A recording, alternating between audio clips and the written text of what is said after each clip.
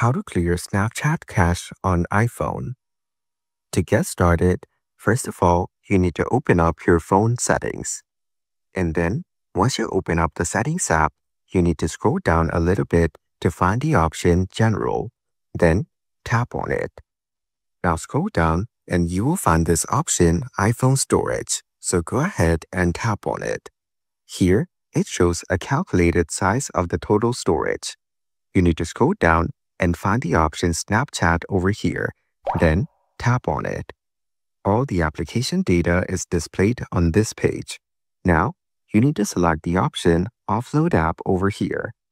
Tap on the option. Proceed by tapping on the command Offload app. It will take some time to process, but when it's done, the Snapchat cache will be cleared. Just to be sure, you can tap on the offload command again.